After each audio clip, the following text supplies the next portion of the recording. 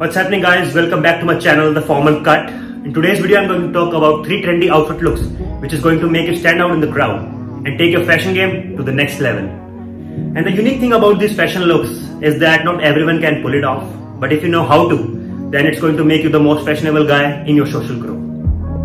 And yes, we talk about men's fashion on this channel, but not just that. I cover men's fitness and I make vlogs as well.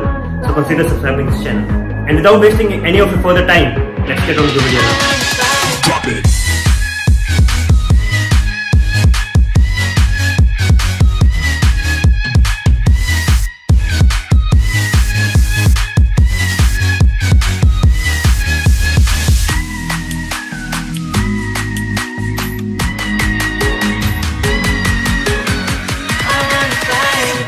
So guys, the first look is denim on denim. And this is one of my favorite looks to carry.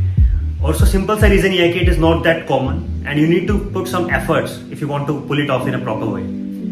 And the thing is, it is very easy to screw it up, but if you are able to carry it in a proper way, it will come across as very stylish and very trendy. But कुछ चीज़ों का ध्यान रखना पड़ता है if you're a beginner and if you're just starting with this look.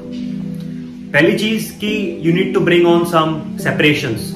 तो for example आप एक लेदर बेल्ट पहन सकते हैं सेपरेट करने के लिए अपने डेनिम्स को सेकेंड चीज़ हो सकती है कि you can layer it for example इस लुक में जो भी मैंने आपको दिखाई, उसके अंदर मैंने अंदर एक टी शर्ट पहन रखी है उसके ऊपर एक जैकेट पहन रखी है। शर्ट कह सकते हो आप? और थर्ड चीज़, अगर आप सेफ़ प्ले करना चाहते हैं तो आप कॉन्ट्रास्टिंग डेनिम्स पहन सकते हैं। तो हो सकता है आप डार्क वॉश्ड और एक लाइट वॉश डेनिम मैचअप कर सकते हैं। तो it will look very trendy and it will look absolutely amazing The second look is all black and this is my favorite look out of all the looks that I'm going to talk about.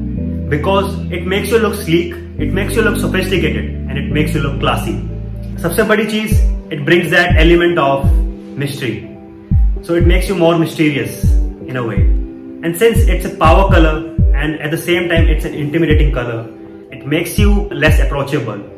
And the thing is if you want to portray those elements if you want to portray that kind of a character then go for all black but anyways it is going to make you stylish and will set you apart from the crowd पर कुछ चीज़ों का ध्यान इसमें भी रखना होता है, क्योंकि since you're carrying just one colour it can make your outfit a little boring so think you need to remember while going for this look is to add texture to your clothing so if you're carrying different items clothing items you need to have different kind of textures on to them which will bring more excitement to the outfit and second thing that you can do is to add accessories that will also add some excitement to the outfits